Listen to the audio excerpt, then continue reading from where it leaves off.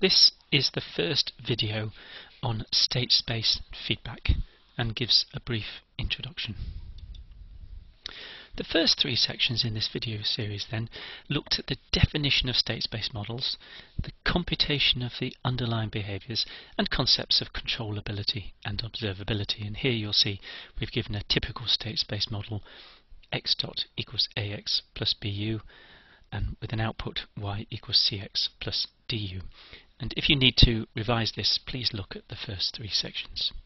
The next job then is to look at feedback design. So that is, how do we embed feedback into a state space system in order to obtain the desired behavior? This series is going to assume that state measurements are available for use. So we're going to assume that the states x are known. So what is state feedback? State feedback means that state measurements can be used to determine the control action.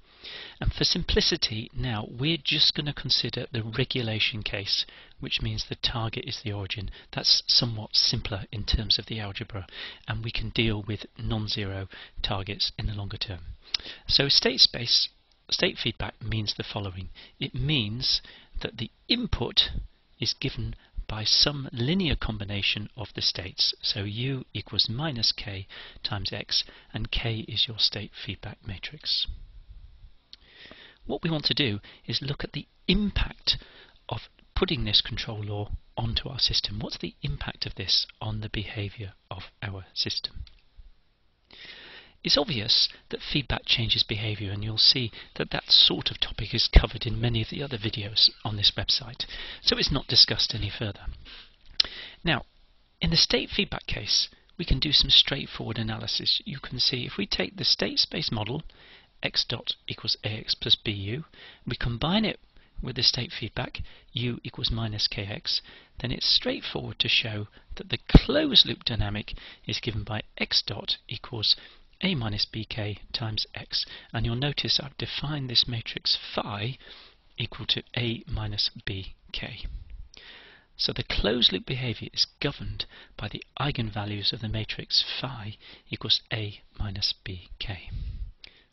Now controllability. It's clear that state feedback changes behavior and allows us to move the closed loop poles. So in the open loop, we had x dot equals ax plus bu and the poles are the eigenvalues of A.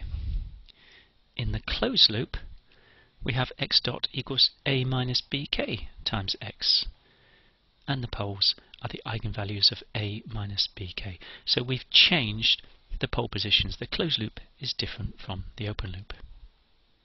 Now if you consider the discrete case, this is identical in principle to the continuous case, and so it's not going to be covered much in this particular series.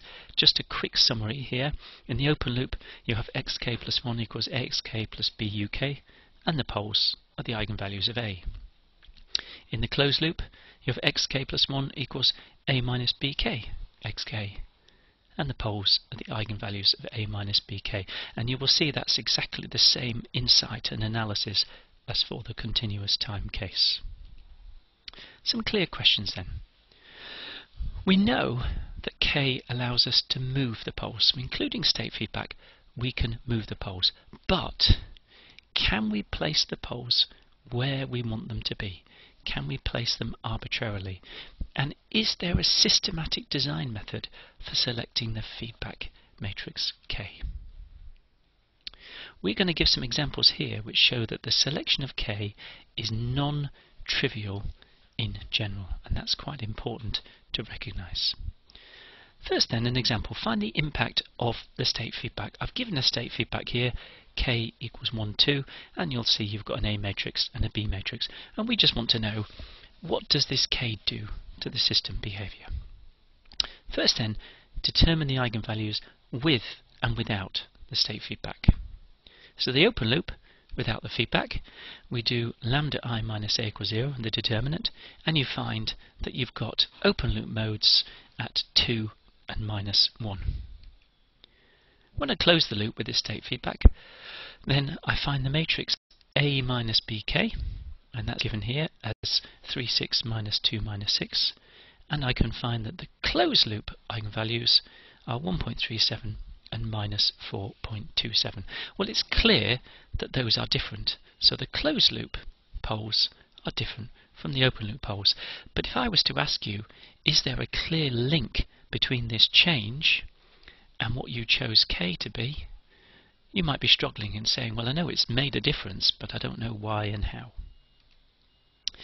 Can we then find the dependence of the poles on the state feedback? So what I'm going to do now is make the parameters of this k variables, k1 and k2, and see if we can explore how the pole positions depend on those parameters.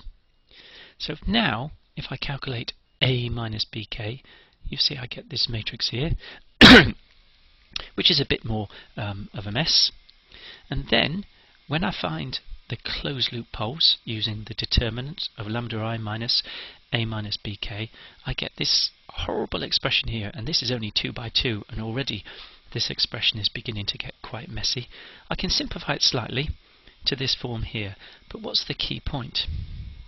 While in principle I can choose these parameters k1, k2, which appear in these four places, to get the pole positions that I would like, this is beginning to get quite cumbersome. What happens then if we go to a 3 by 3 examples? Here then, k has got three parameters, k1, k2 and k3. So using the same sort of methodology, I can find a minus bk, here it is, and you notice these k parameters appear in every term in this element, in this matrix. I can now find the closed loop poles by solving the determinant of lambda i minus a minus bk, and I'll get an expression like this. But the key thing is this p2 is going to depend on k1, k2, and k3. And critically, it will have sums of these terms and products of these terms, and it will be a mess. Similarly, p1 and P0. P0, for example, is going to be the determinant of A minus BK, and you can see immediately that that gives you quite a nasty dependence on the parameters K1, K2, and K3. So what's the solution? Solving for K1, K2, and K3 in order to set the desired pole positions does not seem to be trivial because we're getting some very complicated expressions and the link between the closed loop poles and the parameters we can choose is not transparent at all. So we need some better design tools which is what will come in the following videos. So a summary, we've introduced the concepts of state feedback, we've shown it's easy to postulate a feedback mechanism where the input depends upon state measurements. So there it is, just write u equals minus kx. And it's easy to show that such a feedback changes the pole positions.